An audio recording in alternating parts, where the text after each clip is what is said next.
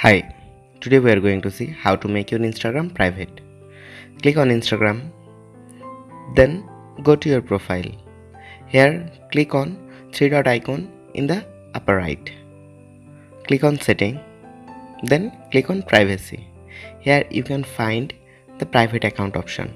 Click on this and switch to private. Then your Instagram account will be private. So that's how to make your Instagram account private. If you like this video, give the thumbs up. Don't forget to subscribe and hit the bell icon. Thanks for watching the video.